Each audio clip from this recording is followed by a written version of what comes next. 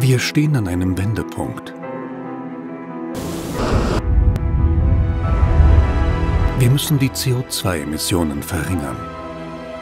Und der effektivste Weg ist, weniger Energie zu verbrauchen. Aber wir können nicht einfach alles abschalten. Lebensmittel müssen produziert werden, Wasser muss fließen, Luft zirkulieren, Züge und Schiffe müssen verkehren und gleichzeitig soll die Energieeffizienz kontinuierlich steigen.